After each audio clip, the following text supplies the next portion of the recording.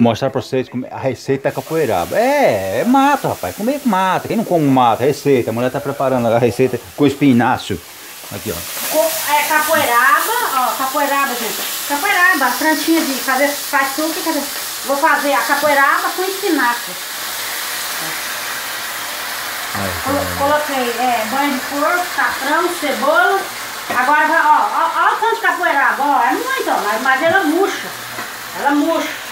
Aí, ó. Agora, agora vai a espinafre, ó. Ó a espinafre. Ó a espinafre agora.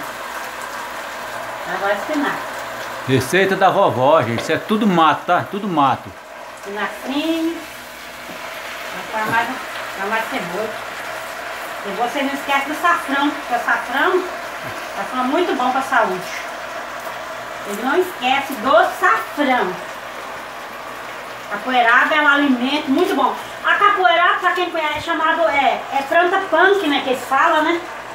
Capoeirada é, é, é a mesma coisa, a capé, a capé a gente come, só que a capoeirada é rasteirinho. Mas fica muito gostoso, né? Assim.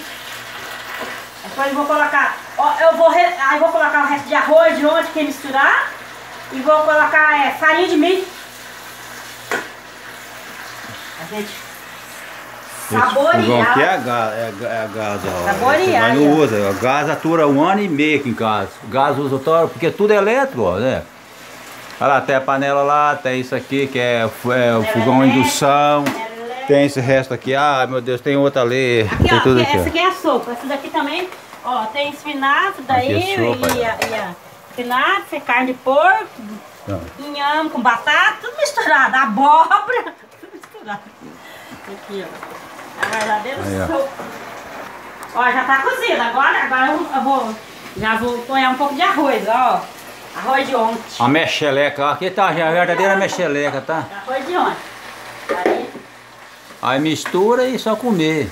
mistura, colocar um pouquinho de farinha de milho também, esquentar bem. Geralmente faz também com bico de banana. Bico de é banana tudo também é. É, faz com bico de banana também, é claro, né, velho? É pra fortalecer o butelo.